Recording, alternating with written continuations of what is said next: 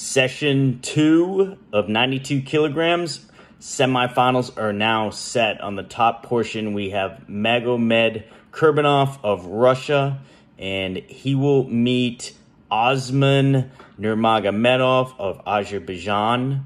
As expected, I picked those two correctly. And then on the bottom portion, we have J'den Cox of the United States. He's an Olympian, Olympic bronze medalist, two-time, Believe he's two-time world gold medalist.